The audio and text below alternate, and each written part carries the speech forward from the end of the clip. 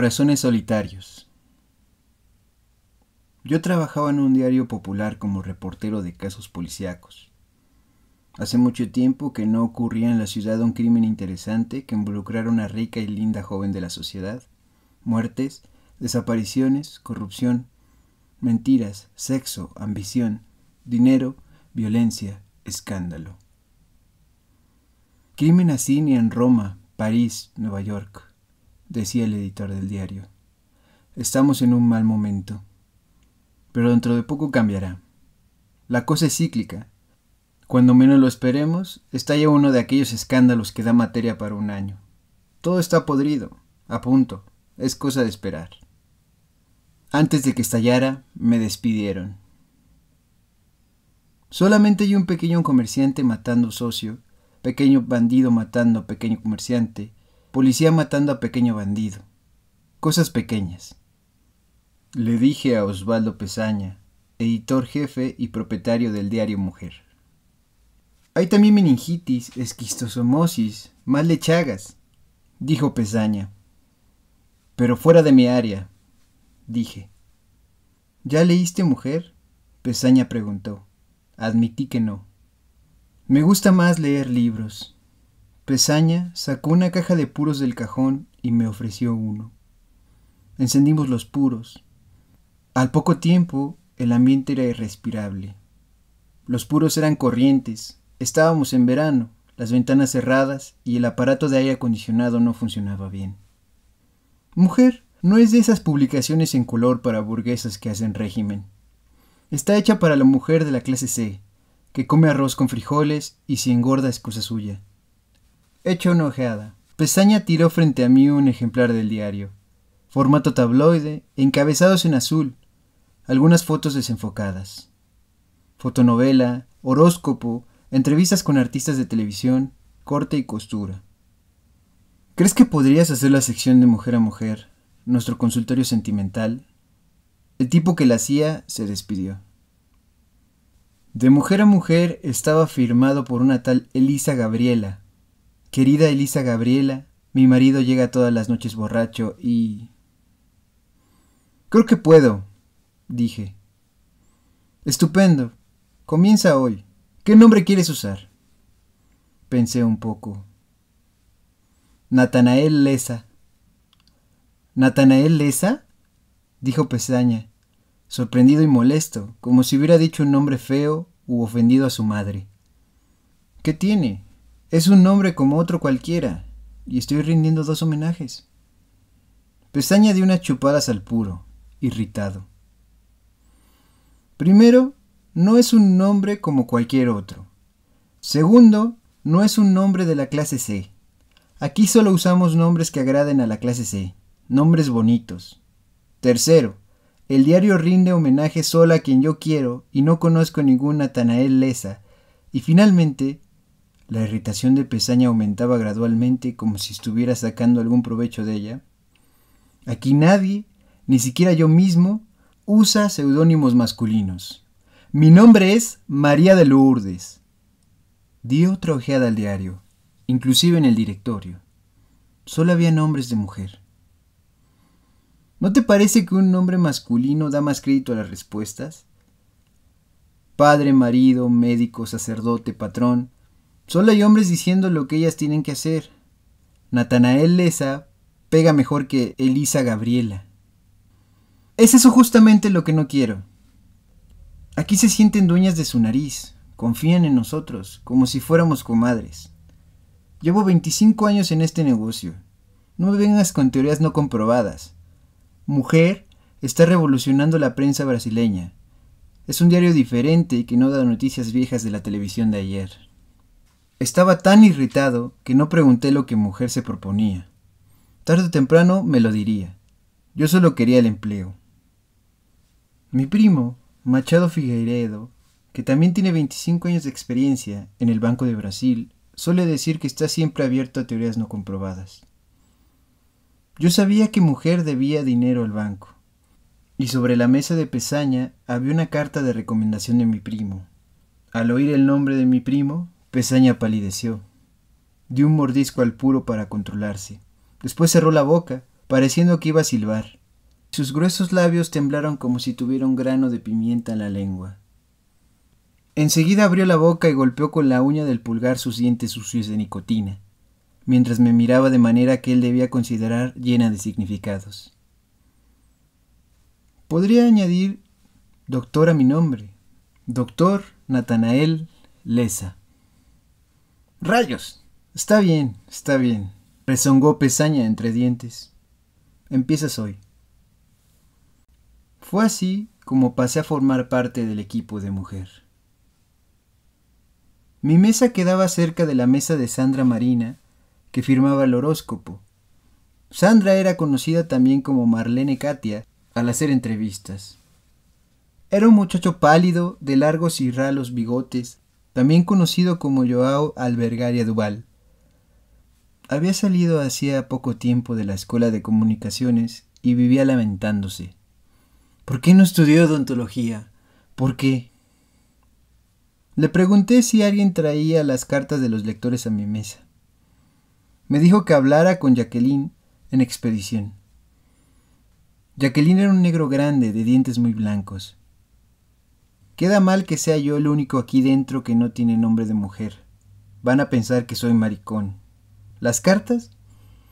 No hay ninguna carta. ¿Crees que la mujer de la clase C escribe cartas? Elisa inventaba todas. Apreciado doctor Natanael Leza, consiguió una beca de estudios para mi hija de 10 años, en una escuela elegante de la zona sur. Todas sus compañeritas van al peluquero por lo menos una vez a la semana. Nosotros no tenemos dinero para eso. Mi marido es conductor de autobús de la línea Yacaré-Cajú, pero dice que va a trabajar horas extras para mandar a Tania Sandra, nuestra hijita, al peluquero. ¿No cree usted que los hijos se merecen todos los sacrificios? Madre dedicada, Villa Kennedy. Respuesta. Lave la cabeza de su hija con jabón de coco y colóquele papillotes. Queda igual que en el peluquero. De cualquier manera, su hija no nació para ser muñequita, ni tampoco la hija de nadie. Coge el dinero de las horas extra y compra otra cosa más útil. Comida, por ejemplo. Apreciado doctor Natanael Leza, soy bajita, gordita y tímida. Siempre que voy al mercado, al almacén, a la bacería, me dejan en la cola. Me engañan en el peso, en el cambio. Los frijoles tienen insectos, la harina de maíz está mohosa, cosas así. Acostumbraba a sufrir mucho, pero ahora estoy resignada. Dios los está mirando y en el juicio final van a pagarlo. Doméstica resignada. Peña.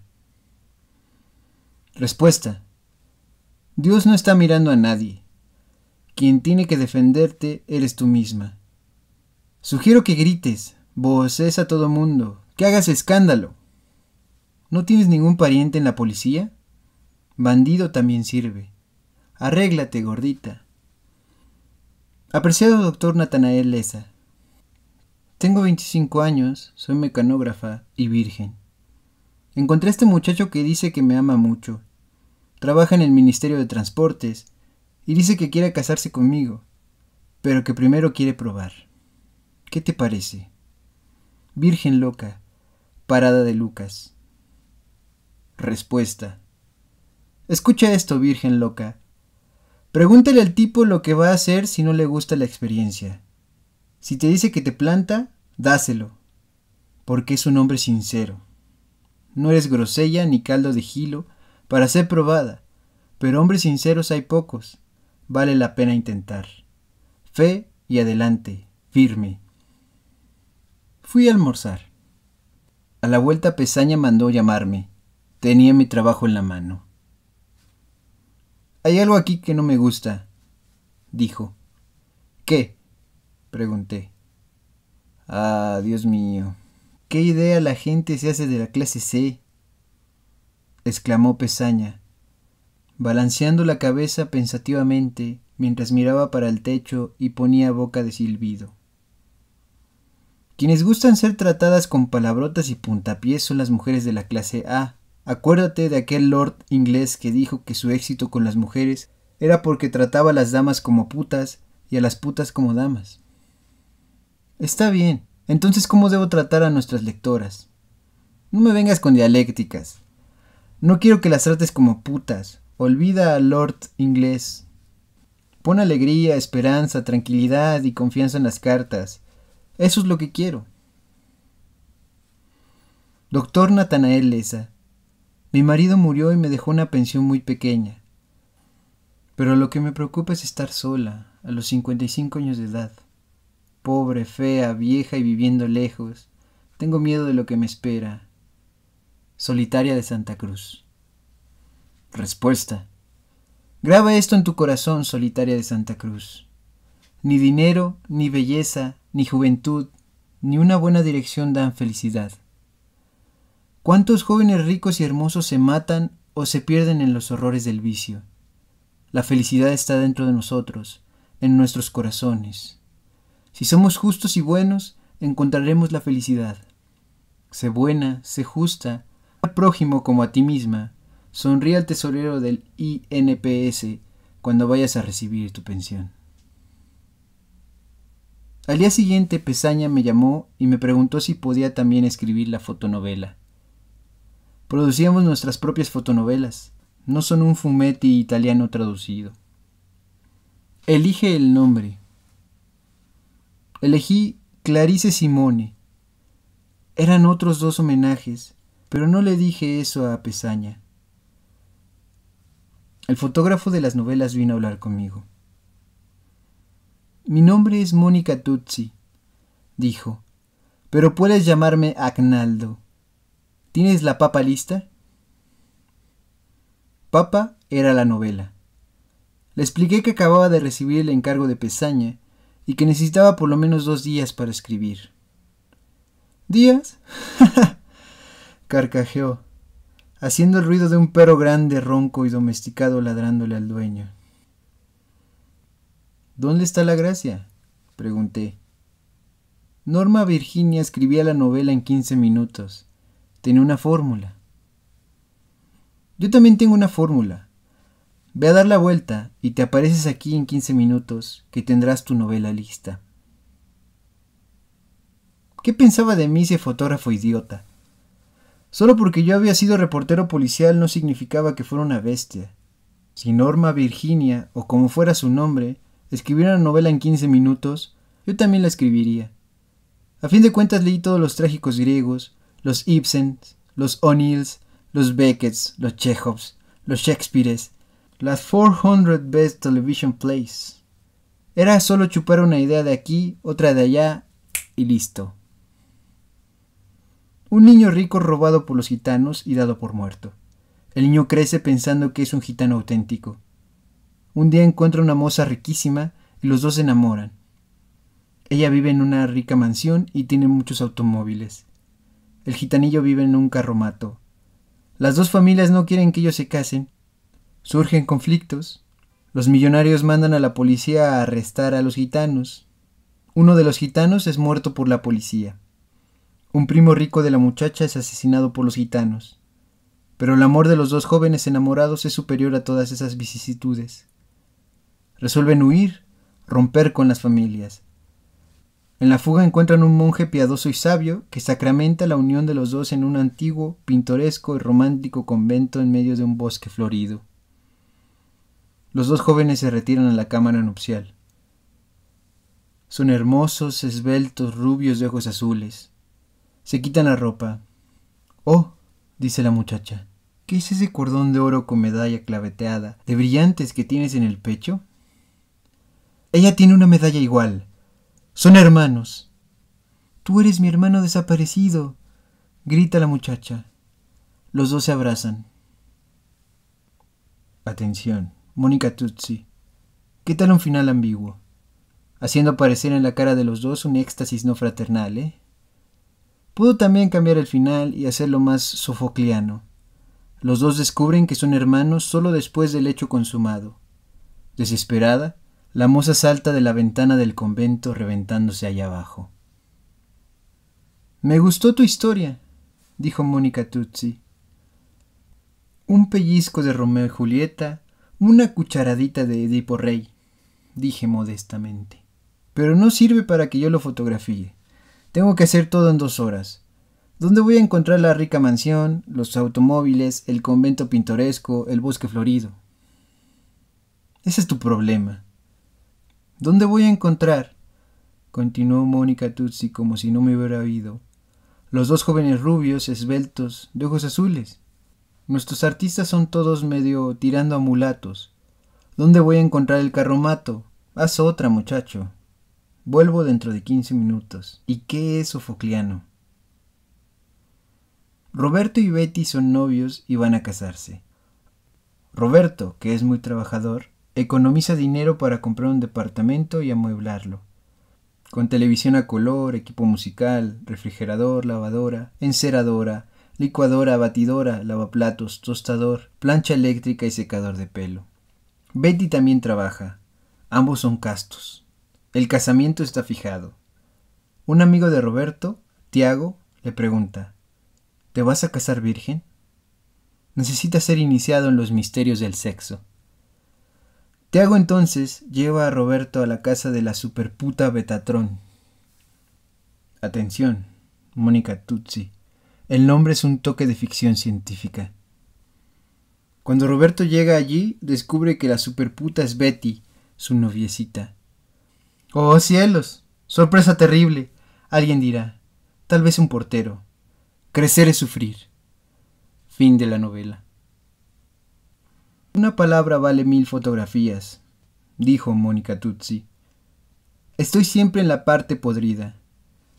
De aquí a poco vuelvo. Doctor Natanael. Me gusta cocinar. Me gusta mucho también bordar y hacer crochet. Y más que nada me gusta ponerme un vestido largo de baile, pintar mis labios de carmesí, darme bastante colorete, ponerme rímel en los ojos, Ah, qué sensación.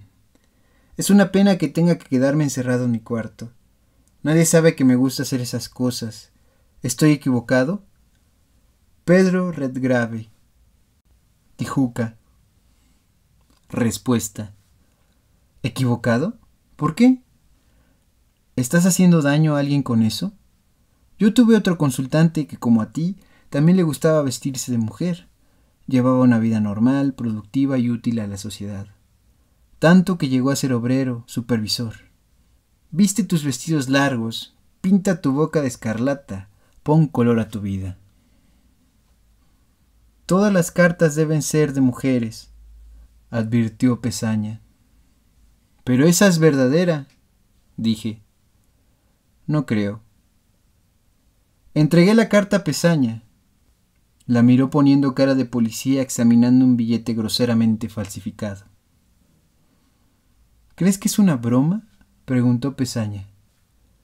Puede ser, dije. Y puede no ser. Pesaña puso su cara reflexiva.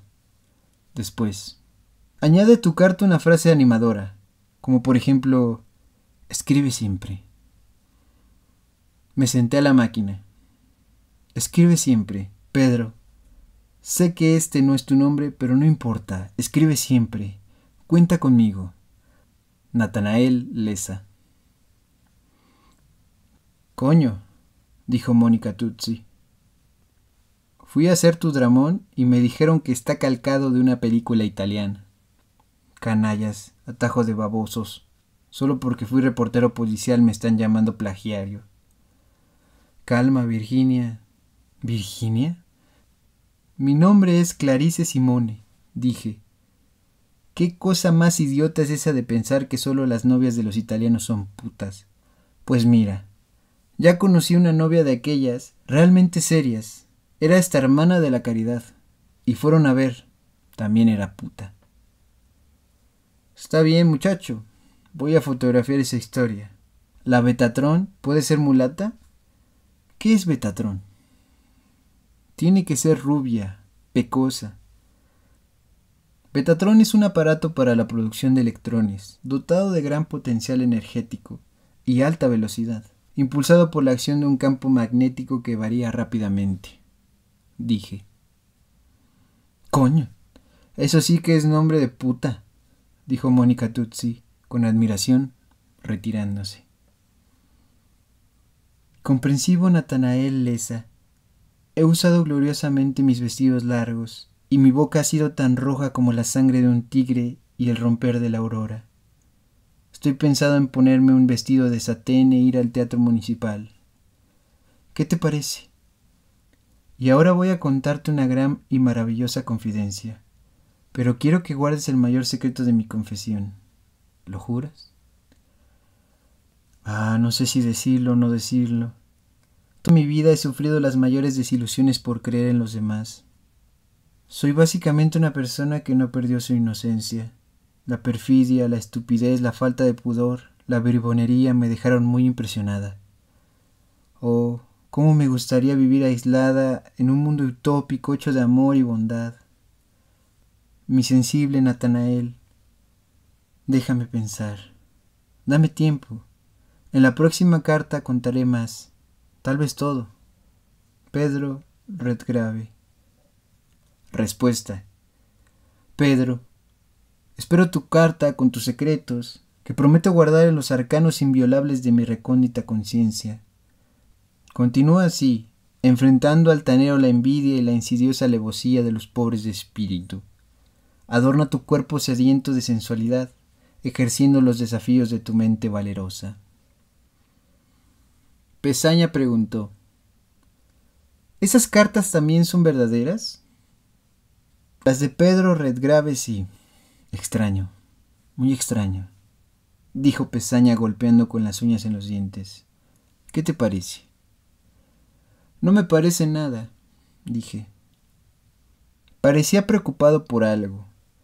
Hizo preguntas sobre la fotonovela, sin interesarse, sin embargo, por las respuestas. ¿Qué tal la carta de la cieguita? pregunté. Pesaña cogió la carta de la cieguita y mi respuesta y leyó en voz alta. Querido Natanael, no puedo leer lo que escribes. Mi abuelita adorada me lo lee. Pero no pienses que soy analfabeta.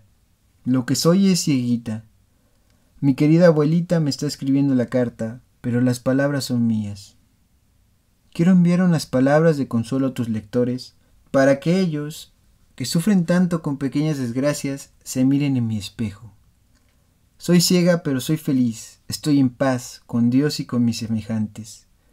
Felicidades para todos. Viva el Brasil y su pueblo. Cieguita feliz. Carretera del Unicornio, Nova Iguazú, PS. Olvidé decir que también soy paralítica. Pesaña encendió un puro. Conmovedor. Pero carretera del unicornio suena falso. Me parece mejor que pongas carretera de catavento o algo así. Veamos ahora tu respuesta. Siguita feliz. Enhorabuena por tu fuerza moral, por tu fe inquebrantable en la felicidad, en el bien, en el pueblo y en el Brasil. Las almas de aquellos que desesperan en la adversidad deberían nutrirse con tu edificante ejemplo, unas de luz en las noches de tormenta. Pesaña me devolvió los papeles. Tienes futuro en la literatura. Esta es una gran escuela. Aprende, aprende, sé aplicado. No te desanimes. Suda la camisa. Me senté a la máquina. Tecio, banquero, vecino de Boca do Mato, en Lins de Vasconcelos. Casado en segundas nupcias con Frederica, tiene un hijo, Hipólito, del primer matrimonio. Frederica se enamora de Hipólito.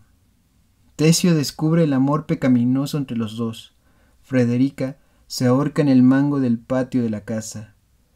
Hipólito pide perdón al padre, huye de casa y vagabundea desesperado por las calles de la ciudad cruel hasta ser atropellado y muerto en la avenida Brasil.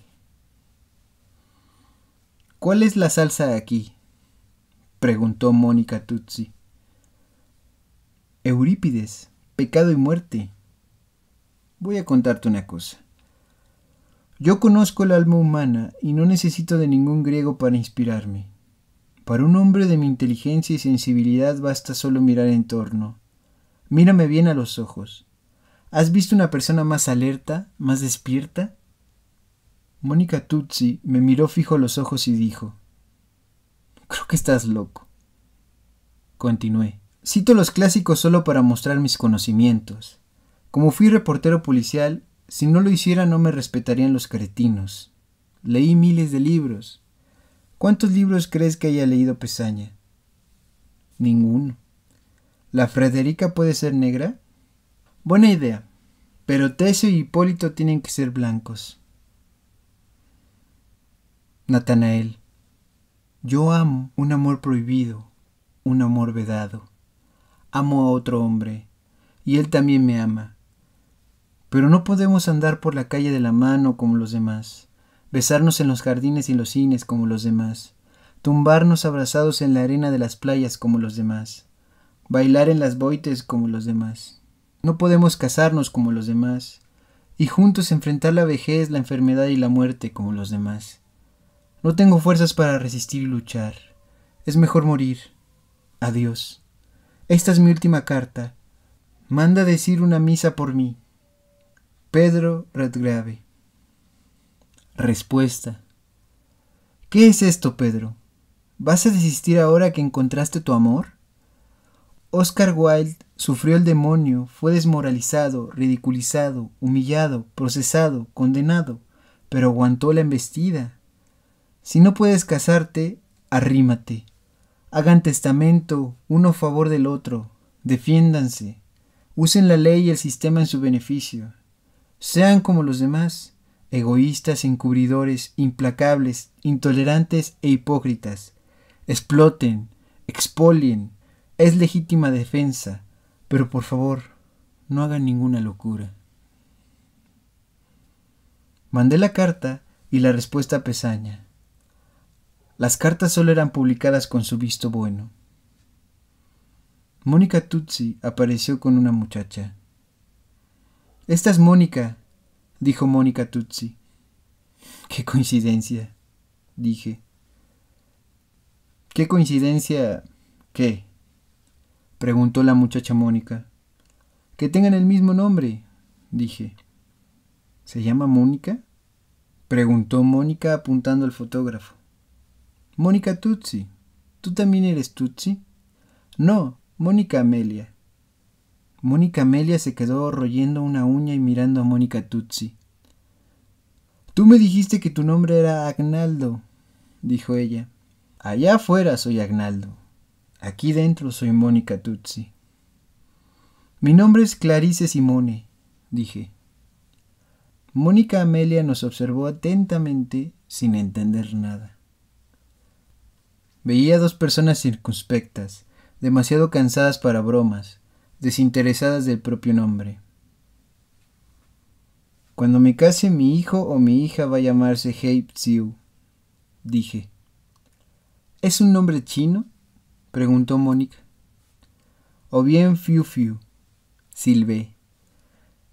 Te estás volviendo ni lista, dijo Mónica Tutsi, retirándose con la otra Mónica. Natanael, ¿Sabes lo que es dos personas que se gustan? Éramos nosotros dos, María y yo.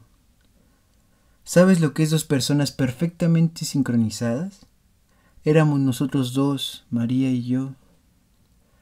Mi plato predilecto es arroz, frijoles, cola la mineira, farofa y chorizo frito. ¿Imaginas cuál era el de María? Arroz, frijoles, cola la mineira, farofa y chorizo frito. Mi piedra preciosa preferida es el rubí. La de María, verás, era también el rubí. Número de la suerte, el 7. Color, el azul. Día, el lunes. Película, del oeste. Libro, El Principito. Bebida, cerveza. Colchón, el anatón. Equipo, el vasco de gama. Música, la samba. Pasatiempo, el amor. Todo igualito entre ella y yo. Una maravilla.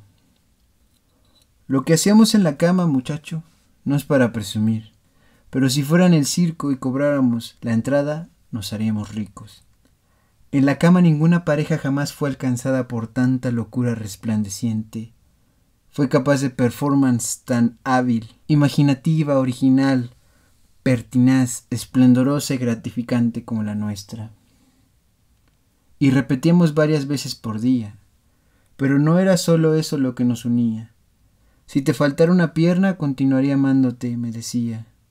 Si tú fueras jorobada, no dejaría de amarte, respondía yo. Si fueras sordomudo, continuaría amándote, decía ella. Si tú fueras visca, no dejaría de amarte, yo respondía. Si fueras barrigón y feo, continuaría amándote, decía ella. Si estuvieras toda marcada de viruela, no dejaría de amarte, yo respondía. Si fueras viejo y impotente, continuaría amándote, decía ella. Y estábamos intercambiando estos juramentos cuando un deseo de ser verdadero me golpeó, hondo como una puñalada, y le pregunté ¿Y si no tuviera dientes, me amarías? Y ella respondió Si no tuvieras dientes, continuaría amándote. Entonces me saqué la dentadura y la puse encima de la cama, con un gesto grave, religioso y metafísico. Quedamos los dos mirando la dentadura sobre la sábana, hasta que María se levantó, se puso un vestido y dijo Voy a comprar cigarros. Hasta hoy no ha vuelto. Natanael, explícame qué fue lo que sucedió. El amor acaba de repente. Algunos dientes, miserables pedacitos de marfil, valen tanto. Odontos Silva. Cuando iba a responder, apareció Jacqueline y dijo que Pesaña me estaba llamando. En la oficina de Pesaña había un hombre con gafas y patillas.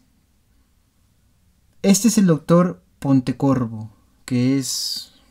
¿Qué es usted realmente? preguntó Pesaña. Investigador motivacional, dijo Pontecorvo. Como iba diciendo, hacemos primero una copia de las características del universo que estamos investigando. Por ejemplo, ¿quiénes son los lectores de mujer? Vamos a suponer que es mujer y de la clase C.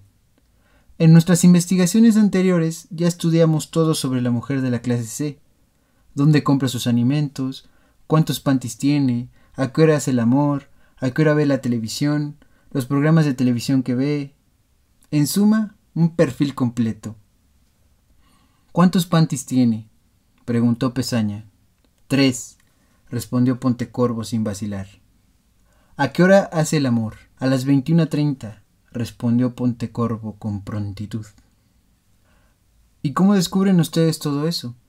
Llaman a la puerta de Doña Aurora, en el conjunto residencial del INPS, abre la puerta y ustedes le dicen ¿A qué hora se echa su acostón? Escucha, amigo mío, estoy en este negocio desde hace 25 años, y no necesito a nadie para que me diga cuál es el perfil de la mujer de la clase C. Lo sé por experiencia propia. Ellas compran mi diario, ¿entendiste? Tres panties. Usamos métodos científicos de investigación. Tenemos sociólogos, psicólogos, antropólogos, especialistas en estadísticas y matemáticos en nuestro staff, dijo Pontecorvo imperturbable. Todo para sacar dinero a los ingenuos, dijo Pesaña, con no disimulado desprecio. Además, antes de venir para acá, recogí algunas informaciones sobre su diario, que creo pueden ser de su interés, dijo Pontecorvo. ¿Y cuánto cuesta? preguntó Pesaña con sarcasmo. Se la doy gratis, dijo Pontecorvo. El hombre parecía de hielo. Hicimos una mini investigación sobre sus lectores y a pesar del tamaño reducido de la muestra, puedo asegurarle, sin duda de sombra, que la gran mayoría, la casi totalidad de sus lectores, está compuesta por hombres de la clase B. ¿Qué? gritó Pesaña. Eso mismo, Hombres de la clase B. Primero, Pesaña se puso pálido. Después se fue poniendo rojo y después violáceo, como si lo estuvieran estrangulando. La boca abierta, los ojos desorbitados y se levantó de su silla y caminó tambaleante, los brazos abiertos, como un gorila loco en dirección a Pontecorvo. Una imagen impactante incluso para un hombre de acero como Pontecorvo, incluso para un ex reportero. Pontecorvo retrocedió ante el avance de Pesaña hasta que con la espalda en la pared dijo intentando mantener la calma y compostura. Tal vez nuestros técnicos se hayan equivocado. Pesaña, que estaba a un centímetro de Pontecorvo, tuvo un violento temblor y, al contrario de lo que yo esperaba, no se tiró sobre el otro como un perro rabioso.